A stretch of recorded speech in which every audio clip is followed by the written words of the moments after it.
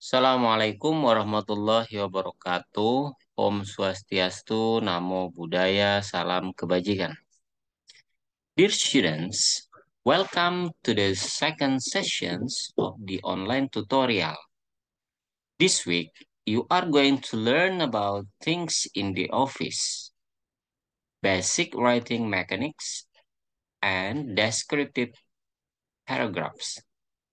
You can find this week's topic in Module 2, which consists of two learning activities. By the end of this week, you are expected to be able to identify vocabulary related to things around the office. Write a sample descriptive paragraphs. Describe a place in English.